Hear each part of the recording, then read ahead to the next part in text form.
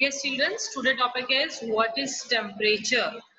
A reliable measure of hotness of an object is its temperature. जो reliable measure होता है hotness का किसी भी object का क्या क्या what we call this is a temperature. Okay, temperature another definition is the quantity by which we can compare the hotness or coldness of bodies is called a temperature. कोई भी body की coldness और hotness जो है किसी भी body की, वो किस पे डिपेंड करेगी कौन मेजर करेगा, उसकी क्वांटिटी कौन बताएगा, वो क्वांटिटी होती है टेम्परेचर हम टेम्परेचर को डिनोट करने के लिए, बताने के लिए क्या करते हैं? दो टाइप के मेज़रमेंट जो है हमारे पास में कौन से वी यूज़ सेल्सियस यूनिट्स जो हम टेम्परेचर के लिए यूज़ करते हैं. We use Celsius we use Fahrenheit we use Kelvin temperature scale to measure the temperature हम टेम्परेचर को मेजर करने के लिए सेल्सियस फेरेनाइट और कैलविन यूज़ करते हैं, ठीक है? रिलायबल टेम्परेचर हो गया। टेम्परेचर एक डिवाइस से यूज़ किया मेजर किया जाता है। Temperature is measured by a device called a thermometer temperature एक डिवाइस के थ्रू मेजर किया जाता है, जिसको हम क्या बोलते हैं बेटा? जिसे हम थर्मामीटर बोलते हैं, ठीक है? ये थर्मामीटर है, ये डिजिटल थर्मामीटर का आपके डायग्राम में, ठीक है? Next type of thermometer. Type of thermometer is thermometer is a two type. First one is clinical thermometer. Clinical thermometer का जो यूज़ है, वो किससे होता है? The temperature that measure our body temperature is called a clinical thermometer एक ऐसा thermometer जो क्या काम आता है? हमारे बॉडी टेम्परेचर को मेजर करने में हेल्प करता है। वो कौन सा होता है बेटा? Clinical thermometer clear second one is laboratory thermometer it is use to measure temperature of other objects ये दूसरे ऑब्जेक्ट्स को मेजर करने में लेबोरेटरी में मेजर करने में हेल्प करता है। अब वन बाय वन हम दोनों थर्मामीटर की स्टडी करेंगे। सबसे पहले हमें क्लिनिकल थर्मामीटर है। Look at this diagram in this diagram we see The clinical thermometer is made up of, clinical thermometer is made up of glass. सबसे पहले तो हमें ये समझ में आ रहा है इस डायग्राम को देखकर कि जो क्लिनिकल थर्मामीटर है वो किसका बना हुआ है? ग्लास का बना हुआ है। क्लियर आप यहाँ पर देख रहे होंगे कि एक स्मॉल बल्ब लाइक स्ट्रक्चर आपको यहाँ दिख रहा है। इसको क्या बोलते हैं? बल्ब थर्मामीटर के इस पार्ट को क्या बोला जाता है? बल्ब। इस बल्ब के अंदर शाइनी अपीरियंस वाला मरकरी फिल होता है ठीक है? यहाँ पर क्या फिल होता है? मरकरी फिल होता है। मरकरी क्या चीज़ होती है? मर, मरकरी थर्मोमेट्रिक लिक्विड होता है। मरकरी क्या होगा? थर्मोमेट्रिक लिक्विड जिसको लिक्विड में थर्मोमीटर में फिल किया जाता है। ये शाइनी अपीरियंस होता है। आप एक येलो कलर की लॉन्ग ये नैरो शेप देख रहे होंगे ना, ये लॉन्ग कलर की आपको पूरे यहाँ से बल्ब से स्टार्ट होती हुई ये पतली सी पूरी येलो वाली जो है यहाँ तक जाती है ना। एक बहुत ही थिन लेयर जो है, बिल्कुल नैरो लेयर जो है, इस बल्ब से होते हुए बिल्कुल स्ट्रेट ऊपर तक जाती है, जिसके अंदर मरकरी जैसे जैसे उसको टेम्परेचर मिलता है या हीट मिलती है, वैसे वैसे उसका टेम्परेचर क्या होता रहता है? इंक्रीज होता रहता है। और ये इंक्रीज ऐसा नहीं है कि मरकरी पूरे ग्लास के अंदर फ्लो हो रही है और हमें पूरे ग्लास के अंदर हमें मरकरी दिखाई देगी। जो येलो लाइन है, इसके अंदर मरकरी अपसाइड डायरेक्शन में मूव होना या एक्सपेंड होना या राइज अप होना स्टार्ट हो जाती है। क्लियर हमने तीन चीज़ों के बारे में पढ़ लिया। हमने फ़र्स्ट पढ़ा कि जो थर्मामीटर की जो बॉडी है, वो किसकी मेडअप है? ग्लास की मेडअप है। Thermometer is made up of glass इसकी शेप कैसी है? स्ट्रेट शेप है। नीचे एक स्वेलन स्ट्रक्चर होता है, जिसको हम क्या what we call this structure is called a bulb क्या फिल होता है इसके अंदर? इसके अंदर मरकरी फिल होता है। मरकरी को हम क्या बोलते हैं? थर्मोमेट्रिक लिक्विड बोलते हैं। ठीक है? इसके अंदर हमें येलो नैरो शेप की एक लॉन्ग ट्यूब दिखाई दे रही है, जिसके अंदर क्या होता है? मरकरी नीचे से लोअर डायरेक्शन से जैसे जैसे इसको हीट मिलती है, ये वैसे वैसे क्या करता है? यहाँ से अपराइट डायरेक्शन के अंदर क्या होना स्टार्ट हो जाता है? मूव होना स्टार्ट हो जाता है, ठीक है? नेक्स्ट इसके अंदर एक पोर्शन है किंग किंग के लिए सेकेंड आप ये डायग्राम देखिए।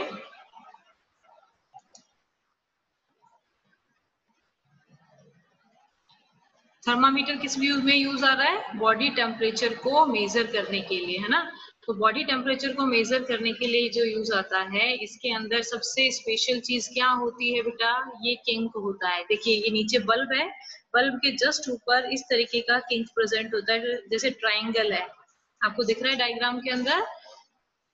ये बहुत इंपॉर्टेंट चीज़ है जो लेबोरेटरी थर्मामीटर के अंदर आपको नहीं मिलेगी। इस पोर्शन को ये जो सी शेप का कह दीजिए या ट्राइंगल शेप का बोल दीजिए, ये जो होता है इसको, इस चीज़ को हम क्या बोलते हैं? इसे हम बोलते हैं किंग किंग का यूज़ क्या है? देखिए, जैसे ही हमने बॉडी टेम्परेचर को मेजर करने के लिए थर्मामीटर को अपनी टंग के बिलो रखा या आर्पिट एरिया में रखा तो वो हमारी बॉडी की जो हीट होती है, उसको क्या करता है? एब्जॉर्ब करता है, कर लिया भाई, ठीक है? लेकिन जब हम उसको मेजर करना होगा तो हम माउथ में रखे हुए रखे या हार्पिट एरिया में रखे रखे तो मेजर कर नहीं सकते। तो उसके लिए हमें क्या करना होगा? उसे अपनी बॉडी से बाहर निकाल कर देखना पड़ेगा। अब जब हम उसे बॉडी से बाहर निकाल कर देखते हैं तो वो जो टेम्परेचर है, वो जो टेम्परेचर है, वो क्या नहीं होता है? फॉल नहीं होता है। नीचे की तरफ़ नहीं जाता है। किसकी वजह से? किंग की वजह से। तो आपको किंग का यूज़ समझ में आया? अब आपको पता पड़ रहा होगा किंग कहाँ पर है, इस जगह पर। इसकी स्ट्रक्चर कैसी है? इस तरीके की। तो इस तरीके की स्ट्रक्चर होने के कारण यहाँ पर जो ये मरकरी होता है, इसके अंदर वो डायरेक्ट नीचे की तरफ़ नहीं आ पाता क्लियर तो किंग का ये यूज़ है लेबोरेटरी थर्मामीटर में ये किंक जो होता है वो क्या होता है? एबसेंट होता है, जिसकी वजह से जैसे ही लेबोरेटरी थर्मामीटर को हम जिस भी लिक्विड को मेजर कर रहे हैं, जैसे ही लेबोरेटरी थर्मामीटर को हम बाहर निकालते हैं टेम्परेचर सडन क्या हो जाता है? फॉल डाउन हो जाता है, ठीक है? लेकिन क्लिनिकल थर्मामीटर के किंग की प्रेजेंस के कारण जैसे ही हम उसको अपनी बॉडी टेम्परेचर मेजर करने के बाद में अपने माउथ से आर्पिट एरिया से बाहर निकालते हैं तो क्या होता है टेम्परेचर स्टेबल रहता है मूव नहीं होता या फॉल डाउन नहीं होता है. क्लियर क्लिनिकल थर्मामीटर की जस्ट स्ट्रक्चर का एक बार डिस्क्रिप्शन रीड कर लेते हैं. वैसे और सभी चीज़ें हो चुकी हैं. एक इसके बस ये था कि रेंज कहाँ तक है? क्लिनिकल थर्मापन ने प्रीवियस क्लास में इसके बारे में रीड कर लिया था कि क्लिनिकल थर्मामीटर की जो रेंज है वो कितनी है? 32 to 42 degree centigrade 32 to 42 degree centigrade आप पूछेंगे इससे अभाव क्यों नहीं होती? अगर किसी भी पर्सन का 42 डिग्री सेंटीग्रेड से ज़्यादा ज़्यादा टेम्परेचर हो जाता है तो वो बिल्कुल नियर होता है अपनी डेथ के। तो टेम्परेचर मेजर करने की उस टाइम पे रिक्वायरमेंट ही नहीं होती। रिक्वायरमेंट खत्म हो चुकी होती है ठीक है? A clinical thermometer consist of a long narrow uniform glass tube जो क्लिनिकल थर्मामीटर होता है, वो लॉन्ग होता है नैरो होता है। एक न्यू यूनिफॉर्म ग्लास ट्यूब होती है।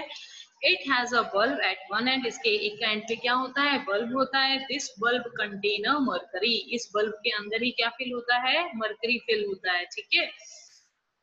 Outside the bulb outside the bulb a small shiny thread of mercury can be seen अब इसके बाहर की तरफ़ हम देखते हैं तो हमें एक शाइनी थ्रेड दिखाई देता है इस मरकरी का, जैसे ही हीट इसको मिलेगी, ये एक्सपेंड होना या राइज होना स्टार्ट हो जाता है। The thermometer is bit till you see it you will also scale at thermometer जब आपने इस थर्मामीटर को देखा तो इसको आपने देखा, इसके ऊपर कुछ मेज़रमेंट था।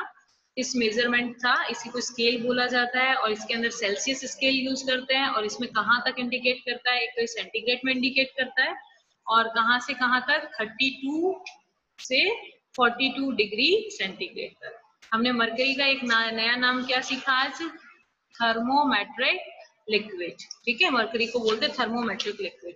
Why we use mercury in thermometer हम हमने मरकरी को ही क्यों यूज़ किया थर्मामीटर के अंदर? किसी और लिक्विड को मेटल को क्यों यूज़ नहीं किया हमने इसके अंदर? किसी भी थर्मोमेट्रिक लिक्विड के अंदर जो प्रॉपर्टीज़ होनी चाहिए, वो किसके अंदर प्रेजेंट थी?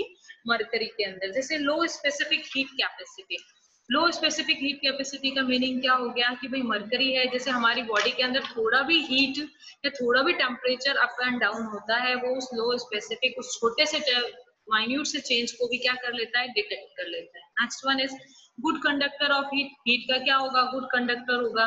तभी तो वो एक्सपेंड होगा राइज होगा। अगर ये हीट का गुड कंडक्टर नहीं होता तो अगर हम इसकी जगह वुड यूज़ करें तो वुड में कितनी हीट जाती रहे, वो आगे कंडक्ट तो करती नहीं है तो राइज भी नहीं होगी। क्लियर तो जो मरकरी है वो क्या होता है? गुड कंडक्टर ऑफ़ हीट होता है। ये बहुत इंपॉर्टेंट क्वेश्चन है कि why we use only mercury in thermometer clear ये कुछ पॉइंट्स हैं। इसमें से कम से कम तीन पॉइंट्स आपको बिल्कुल क्लियर होने चाहिए कि हम इसलिए यूज़ करते हैं। क्लियर सबसे पहले लो स्पेसिफिक हीट कैपेसिटी कितनी भी कम हीट हो या चेंजेस हो वो उसके अंदर क्या करता है हीट कैपेसिटी को चेक कर लेता है। नेक्स्ट है good conductor of heat good conductor of heat में क्या है कि हीट का गुड कंडक्टर होता है, आगे की तरफ़ हीट को पास आउट कर देता है, इसीलिए वो राइज अप होता है। नेक्स्ट है ओपेक ओपेक मरकरी क्या है? ओपेक अगर मरकरी ट्रांसपेरेंट होगा तो हम थर्मामीटर को ऊपर लेकर चेक ही करते रहेंगे। उसके अंदर से आर पार हम देख सकते हैं या ट्रांसल्यूसेंट होगा तो भी हमें बिल्कुल क्लियर विजन नहीं होगा। तो मरकरी क्या है? ओपेक है, ये भी एक हेल्पफुल होता है कि हम ताकि टेम्परेचर को मेजर कर सके। Next point is high boiling and low freezing point high boiling point होगा, होना चाहिए और लो फ्रीजिंग पॉइंट होना चाहिए। इस, है, इसीलिए हम मरकरी को यूज़ कर रहे हैं। अगर सपोज़ कीजिए मरकरी का लो बॉइलिंग पॉइंट होता तो 42 डिग्री सेंटीग्रेड तक टेम्परेचर जाते जाते मरकरी बॉइल हो जाता, उबलना शुरू हो जाता। तो क्या हम उससे अपना टेम्परेचर मेजर कर पाते नहीं ना? नेक्स्ट है low freezing point low freezing point में बहुत कम टेम्परेचर पे क्या है बहुत ज़्यादा कम टेम्परेचर होगा तभी फ्रीज होगा। अगर हाई फ्रीजिंग पॉइंट होगा तो बहुत ही जल्दी ये क्या हो जाएगा फ्रीज हो जाना स्टार्ट हो जाएगा। क्लियर है? इसीलिए ये दोनों प्रॉपर्टी मरकरी के अंदर प्रेजेंट होती है, इसलिए इसलिए हम मरकरी का यूज़ थर्मोमीटर में करते हैं। Uniform rate of expansion uniform rate of expansion का मतलब क्या हुआ कि जैसे जैसे हीट बढ़ती है उसी रेट में जो मरकरी है, वो एक्सपेंड होता है। ऐसा नहीं कई बार एक एक डिग्री सेंटीग्रेड बढ़ा, तब तो ज़्यादा बढ़ गया, ज़्यादा एक्सपेंड हो गया, ज़्यादा राइज अप हो गया। नेक्स्ट वाला एक डिग्री सेंटीग्रेड बढ़ा, तब तो थोड़ा राइज हुआ। तो जैसे जैसे इसको हीट मिलती है, इसकी जो एक्सपेंशन रेट है, इसकी जो राइज अप होने की जो कैपेबिलिटी है, वो क्या होती है? यूनिफॉर्म होती है। इस वजह से हम मरकरी को यूज़ करते हैं किसके अंदर? थर्मोमीटर के अंदर। एक बार वापस रिपीट कर लेते हैं फटाफट से। Low specific heat capacity good conductor of heat compact, highly boiling and low freezing. Point and uniform rate of expansion. Next point is how to read a thermometer अब हमें थर्मामीटर की स्ट्रक्चर हमने पढ़ ली, उसके अंदर मरकरी है, ये पढ़ लिया।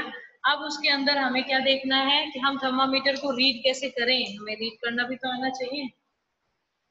तो हाँ note the temperature difference indicated between two bigger mark सबसे पहले टेम्परेचर के जो दो इंडिकेशन है, दो बिगर मार्क है, उनके बीच की हमें लाइंस देखनी होती है। जैसे मान लीजिए, यहाँ पर क्या है? 32 है।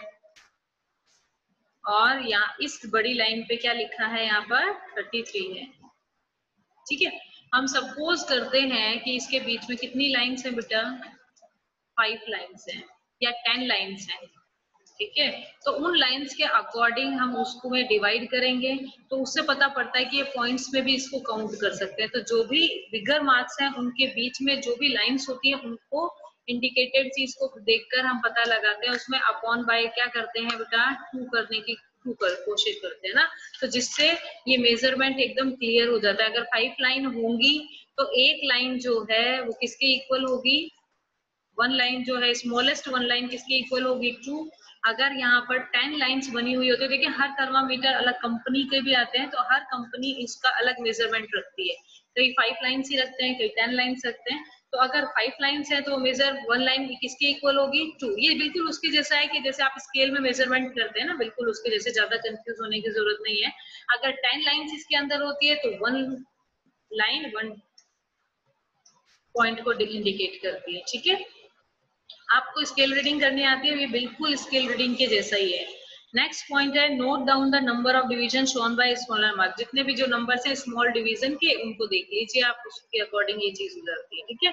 What is the temperature with an sorry temperature with an antiseptic solution जब भी हम थर्मोमीटर से टेम्परेचर को नोट करेंगे, ठीक है? टेम्परेचर को जब भी हम थर्मोमीटर से नोट करेंगे, उससे पहले हमें उसे किससे वॉश करना पड़ेगा? एंटीसेप्टिक सॉल्यूशन से वॉश करना पड़ेगा। क्यों? क्योंकि हम थर्मामीटर ऐसे तो यूज़ करते नहीं है। हम कब यूज़ करते हैं? वेन वी फॉल सिक जब हम बीमार पड़ते हैं, तब यूज़ करते हैं ना? नॉर्मल तो नहीं यूज़ करते। जब हम बीमार हैं तो हम उसे अपने माउथ में रखेंगे तो हमारे माउथ के जो जर्म्स हैं, वो उस पर लग जाते हैं, है ना? तो इसीलिए हमें जब भी उसको यूज़ करें बिफोर एंड आफ्टर दोनों टाइम हमें उसे एंटीसेप्टिक सॉल्यूशन से क्या करना चाहिए? वॉश करना चाहिए। इट्स क्लियर हमें थर्मामीटर को बिफोर एंड आफ्टर दोनों टाइम पे यूज़ करना चाहिए। वो एंटीसेप्टिक सॉल्यूशन से वॉश करना चाहिए। Words is firmly and give it fewer jug इसको बहुत ही केयरफुली तरीके से हमें हैंडल करना चाहिए और इसको यूज़ करने से पहले हमें फ्यू जर्क यानी कुछ झटके देने चाहिए। क्यों? क्योंकि हमें पता है ना, अभी हमने इसकी स्ट्रक्चर पढ़ी कि क्लिनिकल थर्मामीटर में क्या प्रेजेंट होता है? किंग प्रेजेंट होता है, जो मरकरी को वहीं पर स्टेबल रखता है। जब हम इस तरीके से जर्क देते हैं उसके अंदर, कुछ जर्क देते हैं तो ये मरकरी जो है, यहाँ से वापस बल्ब के अंदर आ जाता है। Clear place the bulb of the thermometer under your tongue अब जो बल्ब वाला पार्ट है, अब थर्मामीटर में भी तो कितने पार्ट हो गए? एक तो ऊपर साइड ऊपर वाली साइड और एक नीचे बल्ब वाली साइड तो कौन सी साइड हमें माउथ में रखनी है? हमें बल्ब वाली साइड जो है माउथ में रखनी है। Take it out and after a minute अब इसको एक मिनट बाद में अपने माउथ से आर्बिट एरिया से बाहर निकालना है और टेक द रीडिंग और रीडिंग नोट करनी है। और ये हमेशा ध्यान रखना है थर्मामीटर को हमेशा कहाँ रखना होता है? अंडर योर टंग एंड आपकी जो टंग है, उसके नीचे, ना कि मुँह के टंग के ऊपर की तरफ़ रख दिया आपने और मेजर करेगा। आपको टंग के नीचे रखना पड़ेगा। या आर्बिट एरिया में भी आप इसको रख सकते हैं और ये आपके बॉडी टेम्परेचर को डिनोट करेगा। Precautions be observe while using a clinical thermometer हमें क्या क्या प्रिकॉशंस रखने चाहिए? जब हम थर्मामीटर को क्या करें? यूज़ करें, है ना? कुछ पॉइंट्स तो फ़र्स्ट पॉइंट में क्लियर हो गए कुछ और है इसमें। Wash the thermometer clean water से आप कर दीजिए, नहीं तो एंटीसेप्टिक सॉल्यूशन से कर दीजिए। आपको थर्मामीटर यूज़ करने से पहले क्या करना पड़ेगा? जग देना पड़ेगा ताकि वो किससे? कम से कम 35 हमारा बॉडी टेम्परेचर कितना होता है? नॉर्मली जो हेल्दी पर्सन है, उसका बॉडी टेम्परेचर कितना होता है? थर्टी सेवन के आसपास होता है। कई बार थर्टी सिक्स पॉइंट फाइव भी हो सकता है थर्टी सेवन पॉइंट टू के आसपास भी हो सकता है तो हम जर्क इसीलिए देते हैं ताकि मर्करी का जो थ्रेड है, वो थर्टी फाइव या थर्टी टू डिग्री सेंटीग्रेड से नीचे या वहाँ तक आ जाए। While reading the temperature do not hold the temperature ये सबसे इंपॉर्टेंट चीज़ है कि जैसे ही आप टेम्परेचर को मेजर कर रहे हैं, है ना? तो ये इंपॉर्टेंट है। आपको जब भी टेम्परेचर नोट कर रहे हैं तो आपने जैसे ही थर्मामीटर को अपने माउथ से बाहर निकाला, आपको उसको बल्ब वाले एरिया से नहीं पकड़ना है। अगर आपने उसको बल्ब वाले एरिया से पकड़ा तो क्या होगा? क्या होगा? वो आपका बॉडी टेम्परेचर बताना लग जाएगा या एनवायरमेंट का बताने लग जाएगा। समझ में आ रही है? तो उस पर्सन का नहीं बताएगा जिसको फीवर है। क्लियर है? After use thermometer before storing storing करने से पहले भी हमें थर्मामीटर को क्या कर लेना चाहिए? वॉश करना चाहिए और फिर उसको क्या करना चाहिए? स्टोर करना चाहिए। Clear next point is